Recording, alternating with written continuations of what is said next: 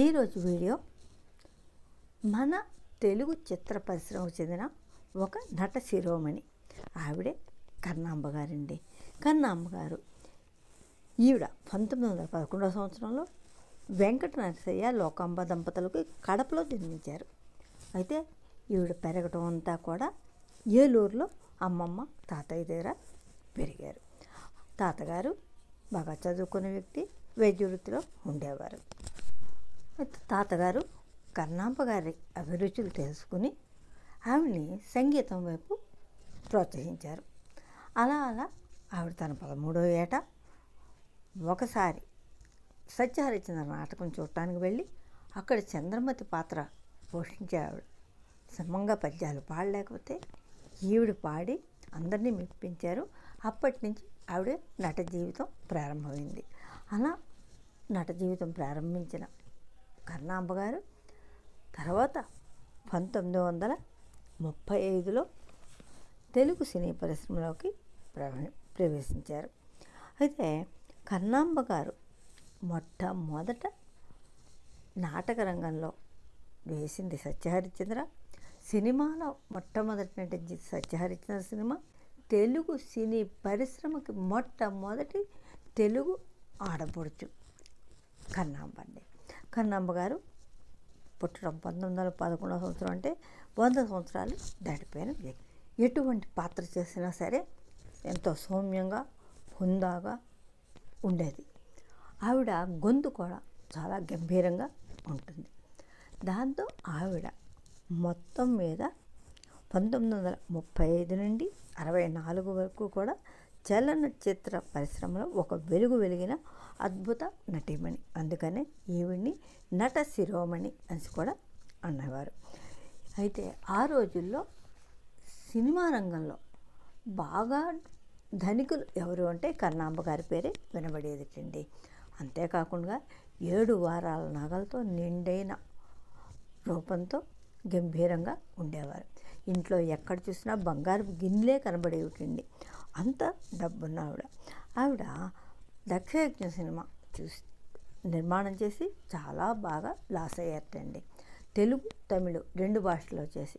అయినా సరే భయపడి వెనకంజ వేయకుండా వెనకంజ వేయకుండా ఆవిడ మళ్ళా నటించి మళ్ళా చిత్ర నిర్మాణం చేసిన వ్యక్తి అండి కన్నాంబ గారు చివరి రోజుల్లో ఆర్థికంగా కష్టపడకపోయినా అవమానాలు పడ్డారటండి.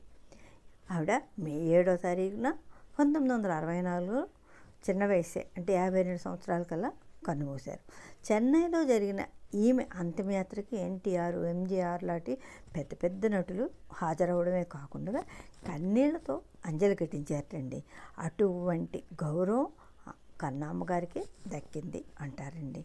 టాకీలు మొదలైన రోజుల్లో తెలుగు తెరకి నటీమణుల కొరత ఉండేది అటువంటి టైంలో కన్నాంబ గారు తెలుగు చిత్ర పరిశ్రమలో అడుగుపెట్టారు ముప్పై ఐదు నుండి అరవై నాలుగు వరకు కూడా తిరుగులేనంతగా ఆవిడ వెనక్కి చూసుకోకుండా ఒక వెలుగు వెలిగిన నటీమణి అండి అలా కన్నాంబ గారి పూర్తి పేరు పసుపులేటి కన్నాంబ.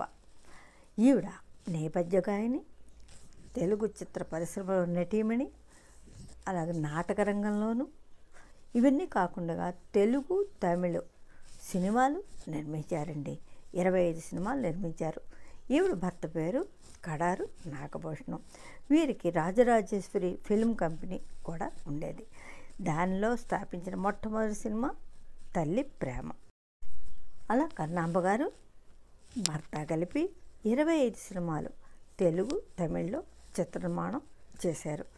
అందులో కొన్ని నాగపంచమి సతీ అనసూయ సతీ సావిత్రి తమిళ్ తెలుగు అన్నా తమ్ముడు తెలుగు శ్రీకృష్ణమాయ తెలుగు వీరభాస్కరుడు తెలుగు ధర్మమే జయం తెలుగు ఉషా పరిణయం తెలుగు దక్షయజ్ఞం తెలుగు తమిళు ఉషా కళ్యాణం ఇలా ఇరవై ఐదు సినిమాలని వాళ్ళు నిర్మాణం చేశారండి.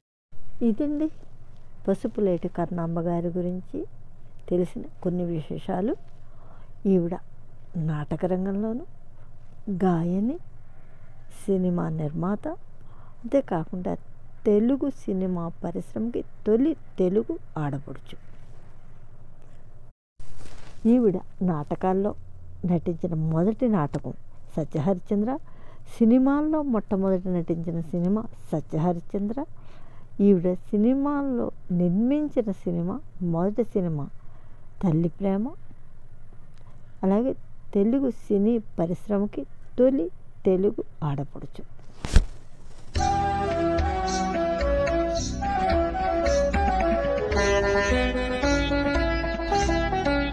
Thank you.